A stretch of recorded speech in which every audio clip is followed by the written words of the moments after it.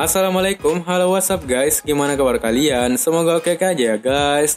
Nah di video ini Israkul bakal bahas alur cerita film horor dari Korea Selatan yang berjudul Dead Bell 2 yang dirilis pada tahun 2010 Film ini berdurasi sama seperti Dead Bell 1 yaitu 1 jam 25 menit. Jadi, kalian harus tahu dulu kalau film Dead Bell 1 dan 2 alur ceritanya tidak berhubungan sama sekali. Nah, singkatnya, film ini menceritakan tentang pembalasan dendam seorang impostor kepada sekelompok siswa-siswi di suatu sekolah.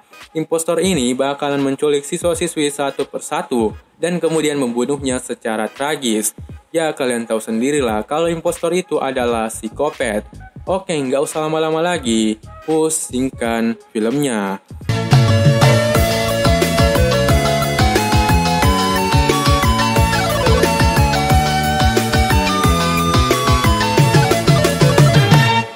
Film dimulai dengan memperlihatkan flashback, di mana kita melihat kompetisi renang yang berhasil dimenangkan oleh Tayon dan diikuti juga oleh temannya yang bernama Narai di posisi ketiga. Kemudian kita diperlihatkan foto bertiga setelah pertandingan tersebut yang berisi Narai, Tayon, dan Sehi. Sehi ini adalah salah satu tokoh utama di film ini. Kemudian kembali ke masa sekarang, dan ternyata foto itu sekarang tertempel di loker seorang wanita yang sedang berenang di malam hari. Dan tiba-tiba ada sebuah bayangan yang menariknya hingga tenggelam. Dia berteriak dan film pun dimulai. Film dimulai di sebuah sekolah. Di sana terlihat semua siswa sedang mengerjakan ujian akhir semester. Setelah ujian tersebut, gurunya pun mengumumkan bahwa besok siswa-siswa sudah bisa liburan. Semua siswa langsung happy dong, tapi ternyata tidak semuanya bisa liburan. Karena di luar sana sudah ada pengumuman 30 siswa peringkat teratas yang tetap harus belajar di sekolah selama musim panas. Dan semuanya harus nginap di asrama gitu.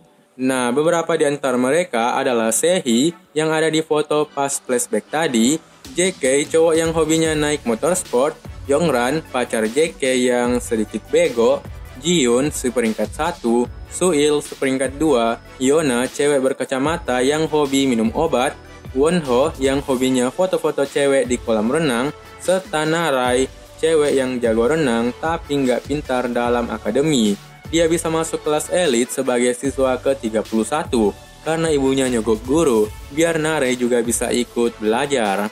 Nah, singkat cerita, pindahlah tuh mereka semua ke asrama sekolah. Jadi, mereka tuh belajar untuk mempersiapkan diri untuk masuk ke universitas gitu. Kalau di Indonesia, mereka seumuran SMA kelas 3 lah.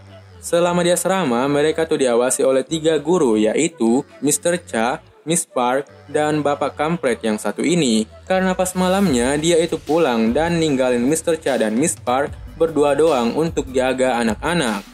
Nah, di malam hari, sembari siswa-siswi sedang makan, terlihat Yongran ngobrol bareng Jiun. Yongran bilang dia mau kasih kado spesial buat cowoknya JK di ulang tahunnya hari ini. Dan kalian mau tahu apa kadonya? Nah, kadonya adalah pembungkus plastik karet untuk pisang. Kan bego banget kan nih cewek? Kemudian di tempat yang sepi, kado spesial pun diterima, mereka pun bermantap-mantap. Oke lanjut, kemudian terlihat Yona ditakut-takuti oleh temannya tentang hantu di sekolah. Karena takut, dia pun kabur ke toilet dan melakukan hobinya yaitu minum obat. Setelah itu, tiba-tiba keluar rambut dari dalam roknya. Dan boom, darah pun tertumpah membasahinya. Dan ternyata dia cuma halusinasi. Sin berpindah ke bapak yang kampret tadi. Dia pun mengunci seluruh pintu sekolah biar aman katanya. Eh tapi bukannya pulang malahan pergi ngintip pelatih renang yang sedang asik berenang di malam hari. Emang kampret kan nih bapak? Uh. Kemudian dia memuji pelatih renang dengan bilang, Pahamu benar-benar seksi sekali. Karena tak senang diganggu, pelatih renang pun kabur ke kamar mandi. Dan pas lagi asik-asiknya mandi, tiba-tiba lampu di sana mati sendiri dan boom, kepalanya pun dibenturkan ke cermin dan meninggal.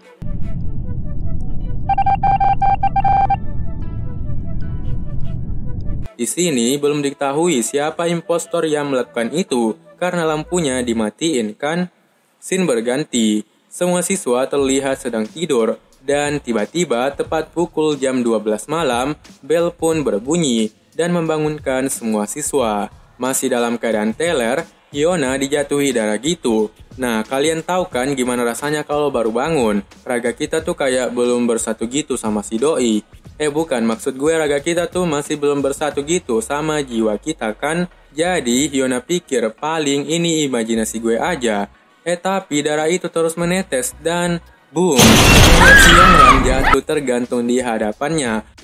Semua orang pun juga ikut kaget dan histeris. Ternyata pas Yongran sama JK mantap-mantap, mereka tuh diculik sama impostor. Tuh kan rasain no karma mantap-mantap di tempat yang sepi. Dan tiba-tiba muncul suara misterius dari speaker di pojok ruangan. Suara misterius itu bilang, akan ada tes bagi kalian semua. Oleh karena itu, satu persatu murid akan mati. Untuk mengetahui itu semua, ada pertanyaan yang harus kalian jawab. Mereka yang bisa menjawab dengan benar bisa keluar dengan selamat. Suara itu pun hilang, dan ternyata Yongran masih hidup dan sempat minta tolong, tapi naasnya talinya dilepas dan boom, Yongran pun meninggal.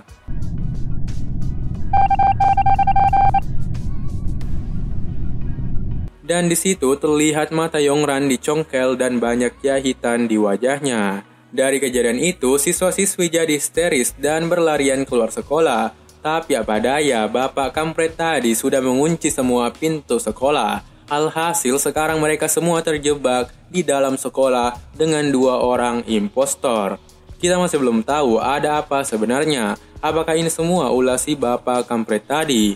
Eh tiba-tiba muncul tayangan televisi gitu dan di dalamnya sudah ada JK yang terlihat akan ditabrak menggunakan motor sportnya sendiri. Selain itu, ternyata motor sport JK sudah ditambahkan besi-besi gitu di ban motornya.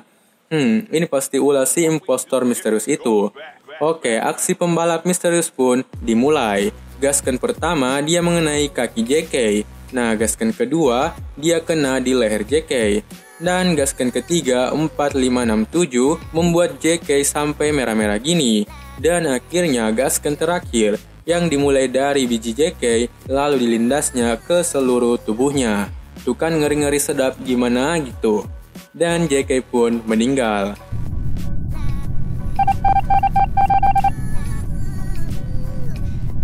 Semua siswa makin panik setelah menonton aksi tersebut. Mr. Cha pun datang menghampiri mereka. Semua orang bertanya di mana kunci pintu sekolah. Tapi Mr. Cha bilang, gue nggak pegang kunci. Mr. Kang, si bapak kampret itu membawa semua kunci sekolah. Mr. Cha juga mencoba menggunakan telepon, tapi tidak ada sinyal sama sekali.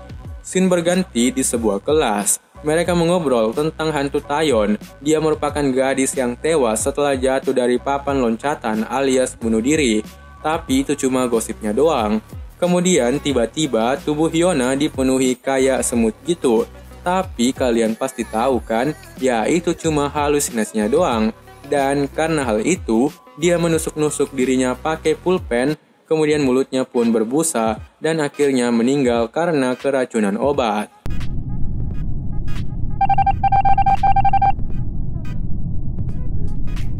Karena penasaran, Jun pun melihat obat Hyona dan menyadari bahwa obat yang diminum Hyona selama ini ternyata telah ditukar oleh impostor.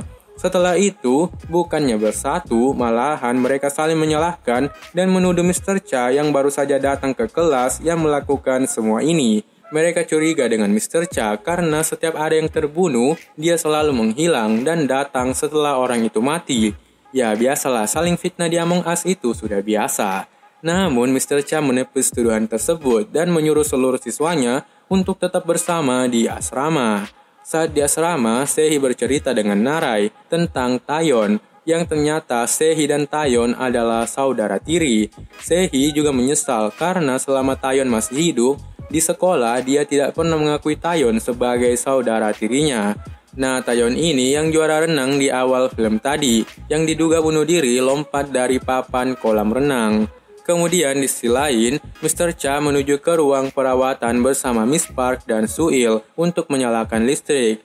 Namun, ketika mereka berhasil menyalakan listrik, ternyata mesin penembak paku juga ikut menyala. dan akhirnya mengenai Suil tertusuk-tusuk hingga meninggal.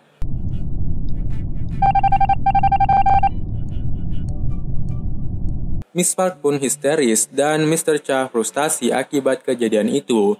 Kemudian terlihat Jiun mendatangi Mr. Cha dan bilang, apa mungkin ini terjadi karena hal itu? Yongran, JK, dan Hyuna, mereka semua ada di sana saat kejadian itu. Tapi Mr. Cha bilang, tidak ada yang tahu tentang itu. Nah, di sini kita dibuat berpikir kejadian apa sih yang mereka bahas. Dan ternyata tiba-tiba flashback di sana terlihat Wonho mengirim foto mayat gitu ke HP si Jiun. Lalu Wonho diberikan uang oleh Jiun. Mungkin uang tutup mulut kali ya. Nah, karena berpikir Wonho tahu kejadian yang mereka bicarakan tadi, Mr. Cha pun pergi mencari Wonho dan menemukannya sendirian di suatu ruangan gitu. Dan pas mau dipalu-palu, ternyata si Wonho ini sudah meninggal.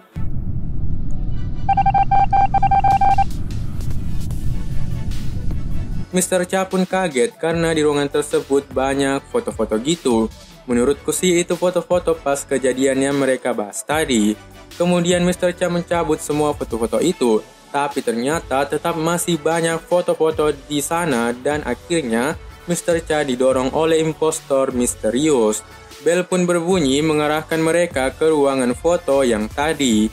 Ternyata Mr. Cha dimasukkan ke dalam kotak pencuci foto gitu. Karena suhu kotak itu semakin bertambah, hal itu membuat Mr. Cha terbakar dan meninggal.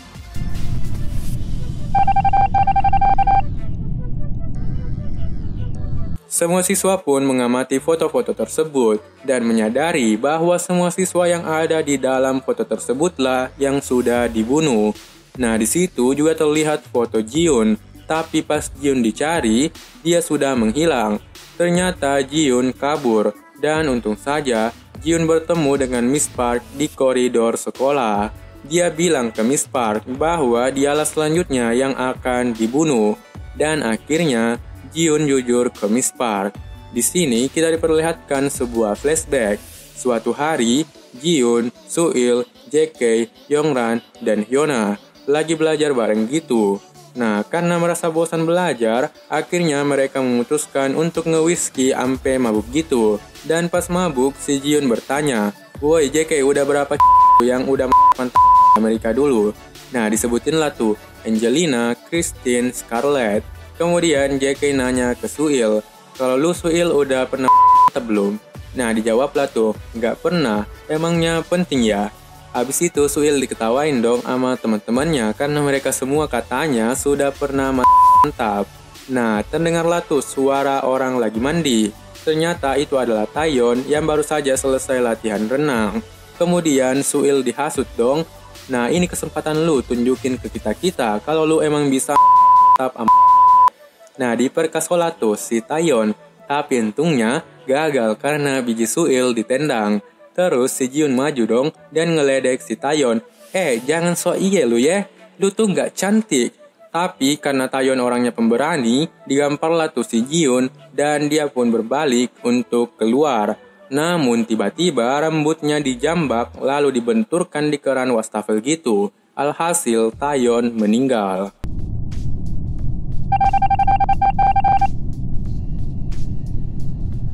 Nah, kembali lagi ke Jiun.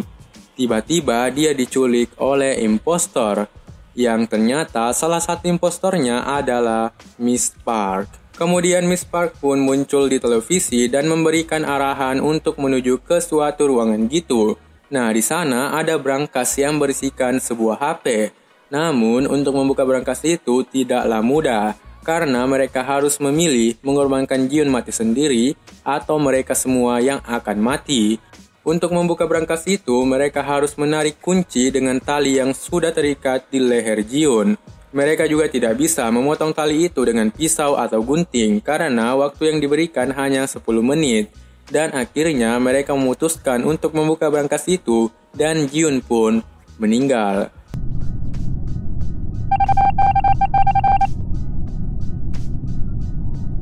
Di sisi lain, pas mereka berhasil membuka brankas itu, waktu mereka hanya tersisa beberapa detik dan akhirnya gagal juga menghubungi polisi. Scene berganti di sebuah flashback. Nah, di sinilah kita bakalan tahu semuanya. Ternyata impostor yang satunya lagi adalah adik Miss Park yang bernama Jung Boom. Di suatu malam, ketika Taeyeon meninggal, tiba-tiba Jung Boom di SMS oleh Taeyeon bahwa dia ingin putus. Nah, SMS itu dikirim oleh Jiun untuk menjebak Jung Boom. Pas Jung Boom datang ke kolam renang, dia melihat pacarnya, Taeyeon yang sudah sekarat. Ia pun ingin membantu Taeyeon, tapi tiba-tiba datanglah pelatih renang dan berteriak. Selanjutnya di kantor polisi, pelatih renang bersaksi bahwa Jung Boom yang mencekek Taeyeon hingga meninggal. Kesaksian itu dikuatkan oleh Mr. Cha, Jiun, dan teman-temannya dengan bilang Perilaku Jung Bum memang buruk dan terlihat tidak waras di sekolah. Dan akhirnya Jung Bum pun dikeluarkan dari sekolah lalu dipenjara. Tapi berita yang disebar di sekolah, Tayon bunuh diri. Hmm, itu dilakukan demi menjaga nama baik sekolah. Karena kalau pembunuhan, pasti sekolah bakalan dicap jelek. Nah, beberapa bulan kemudian, ibunya pun meninggal. Selama di penjara, Jung Bum terlihat mulai tidak waras. Jadi, Miss Park tidak memberitahu Jung Bum bahwa ibunya telah meninggal. Miss Park hanya memberitahu bahwa sekarang ia sudah menjadi seorang guru. Nah, setelah flashback itu, Jung Bum dan Miss Park pun berpisah. Dan ternyata keberadaan Miss Park diketahui oleh beberapa siswanya. Kemudian dia pun dihantam pakai tabung pemadam kebakaran dan akhirnya meninggal.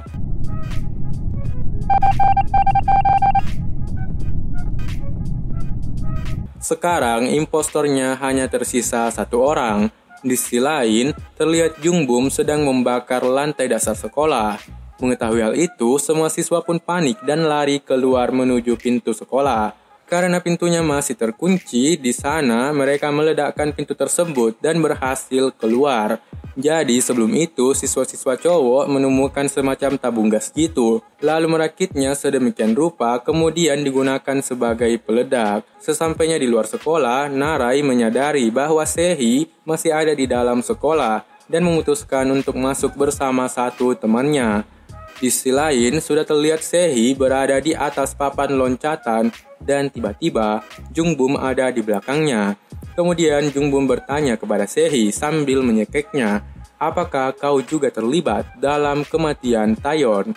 Nah, Sehi pun menceritakannya. Ternyata Sehi juga ada pada saat mereka belajar bareng dan pas mereka mau nge-whisky, Sehi disuruh beli cemilan di Indomaret.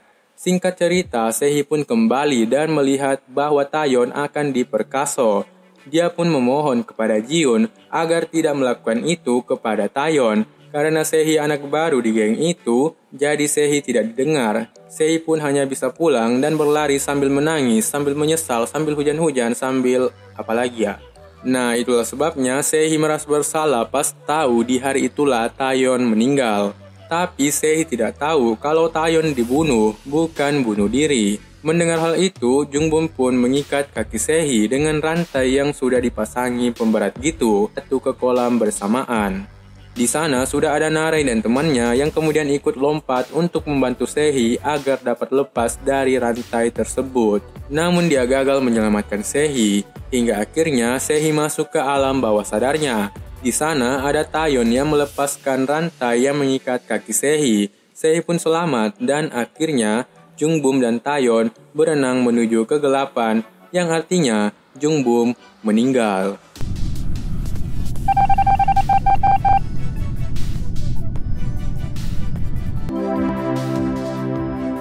Di scene akhir, kita diperlihatkan kembali foto yang ada di awal film ini, dan film pun tamat. Oke okay guys, seru banget kan filmnya? Jujur, dari awal gue nonton film ini, gue merasa penasaran banget siapa impostor di dalam sekolah ini. Karena ceritanya itu sangat sulit untuk ditebak. Dari awal saja, kita sudah dibuat berpikiran bahwa si bapak kampret lah yang menjadi impostor. Tapi gue sengaja tidak kasih tahu kalian kalau bapak kampret ini left game karena jaringan IndiHome-nya nge-lag. Atau dengan kata lain, dia keluar dari sekolah. Kemudian kita digiring lagi untuk berpikir bahwa Mr. Chala yang menjadi impostor. Tapi pas dia mati ternyata dia bukan impostor. Dan ternyata lagi, yang membunuh pelatih renang adalah Jung Bum itu sendiri. Sebab dia juga ingin balas dendam karena telah difitnah waktu itu. Perbedaannya dengan Dead Bell 1, dulu kita akan mengetahui bahwa kematian mereka berdasarkan ranking siswa tersebut. Tapi di sini, di awal film tidak ada sedikit pun clue siapa yang akan dibunuh. Kita juga dibuat untuk tidak merasa curiga kepada Miss Park padahal dialah salah satu dari impostor tersebut. Dan di akhir film juga kita diberikan plot twist yang sangat tidak terduga bahwa yang balas dendam atau impostornya adalah pacar dari Taeyeon, Jung Boom. Nah, Jung Boom ini cocok banget dengan quote-nya si Joker. Orang jahat adalah orang baik yang tersakiti. Pesan moralnya, attitude atau sikap dan perilaku itu lebih penting dari segalanya. Meskipun lu pintar, tapi kalau kelakuan lu kayak guguk, mabuk-mabukan, mantap-mantapan, kepintaran lu nggak ada gunanya. Satu hal yang penting, intinya semua ini bermula karena mereka nge-whisky.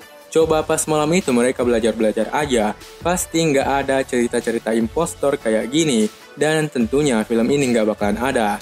Oke, kalau kalian nonton video ini sampai habis, itu tandanya kalian suka video ini. Jadi jangan lupa dong tekan tombol like dan subscribe-nya. Saya Israkul, pamit undur diri. Wassalamualaikum warahmatullahi wabarakatuh.